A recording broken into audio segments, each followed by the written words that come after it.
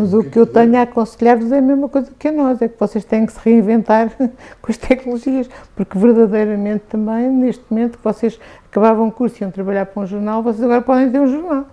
Podem ter um blog, podem ter um podcast, podem ter essas coisas todas, não é? E, e se conseguirem que aquilo seja suficientemente interessante, cativante, e se conseguirem meter aquilo no circuito certo do, do splash, não é? Portanto, do viral, vocês conseguem ter um emprego em casa sem, uh, sem precisar de aturar os, os fulanos do jornal, não é? Portanto, é, e nós temos que nos reinventar para esta mudança e usufruir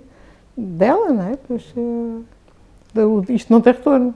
Portanto, e portanto eu também estou muito curiosa de ver, até estou, porque realmente é verdade que eu não tenho muita paciência para ir, não tenho paciência, não tenho o hábito, não tenho, não tenho a rotina de estar a ouvir essas coisinhas todas dos, de, das entrevistas, eu não sei fazer esse percurso. Está a ver, assim como nós, que uh, há, uma, há coisas que sabemos, sabemos mais ou menos co, co, como é que sabe se vai ver um filme que é interessante ou não não, se calhar nem sabe explicar, mas se, se eu lhe perguntar, consegue pensar duas ou três coisas e dar-me uns, guiões, não é? Mas nós temos essa ideia, que os filmes que queremos ver e que não queremos, os livros que compramos e que não compramos, os jornais que, que nos interessa ler ou não, não é? Portanto, eu, eu não tenho o guião de, de, como é que eu vou à procura da informação desses fazedores de opinião, porque não sei deles, e não sei os nomes, e e se calhar ainda não me consegui motivar para isso, porque ainda estou com outros problemas que são mais urgentes na minha rotina mas eu estou a ficar com curiosidade, ou seja, digamos que na,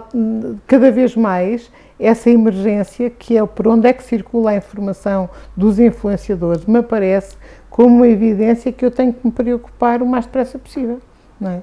Portanto, há coisas que a gente já tem, eu recebo feeds de várias informações que eu nem sei como é que chegam até mim e que eu vou lendo displicentemente e depois algumas são demasiado idiotas e eu vou vendo se consigo ver um livro daquilo para não, para não estar todo o dia a, a apagar coisas. Uh, e a mesma coisa com aqueles videozinhos do YouTube, das, os mini TEDs e mais não sei o quê. Agora, verdadeiramente, essa questão dos podcasts, por exemplo, ainda, ainda estou por, por ver até onde é que isso me vai levar, mas estou, estou curiosa, está agendado para vir aí um dia destes muito, muito breve, não é?